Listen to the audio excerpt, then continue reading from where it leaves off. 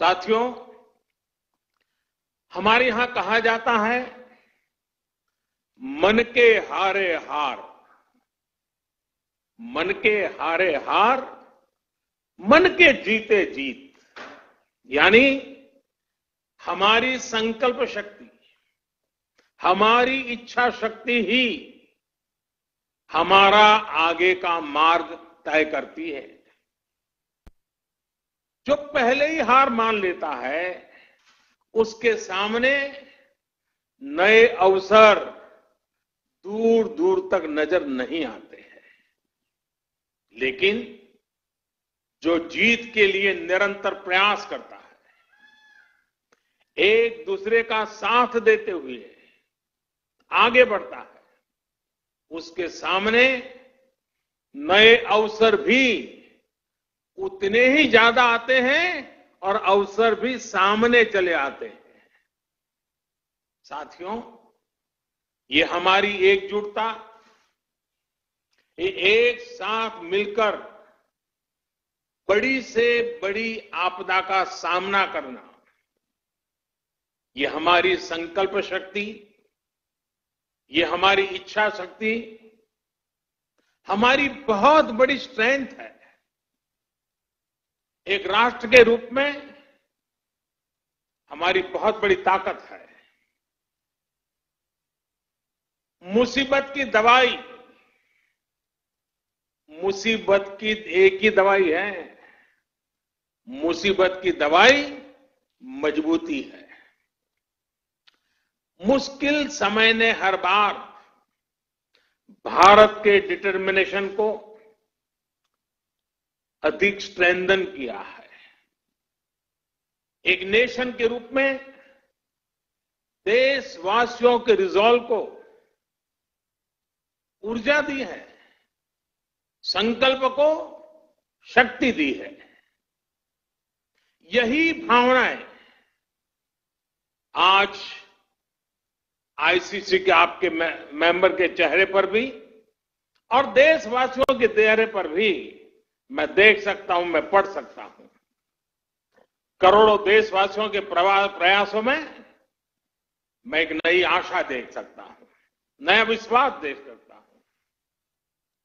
Corona का संकट पूरी दुनिया में बना हुआ है।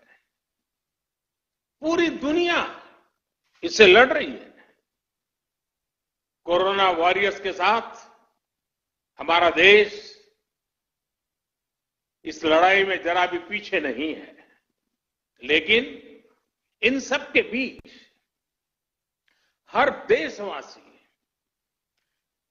अब इस संकल्प से भी भरा हुआ है कि इस आपदा को, इस आपदा को अवसर में परिवर्तित करना है।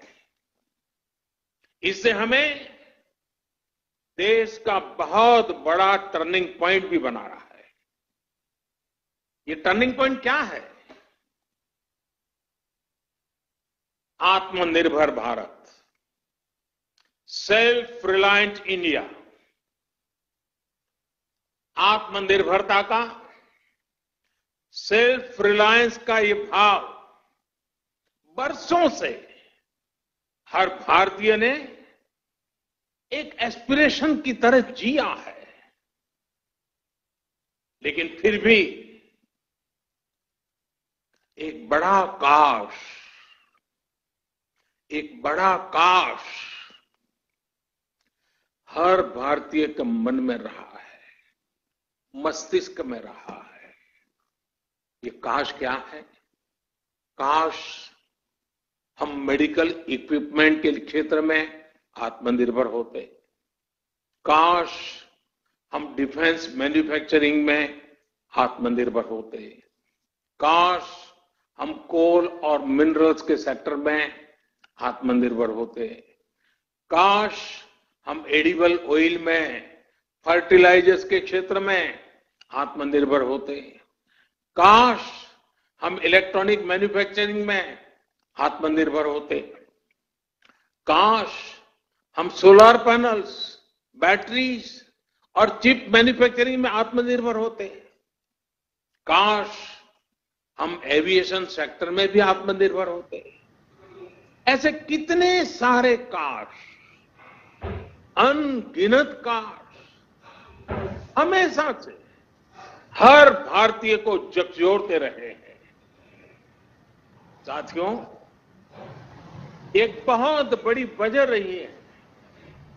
कि बीते पाँच छह वर्षों में देश की नीति और रीति में भारत की आत्मनिर्भरता का लक्ष्य सर्वोपरि रहा है।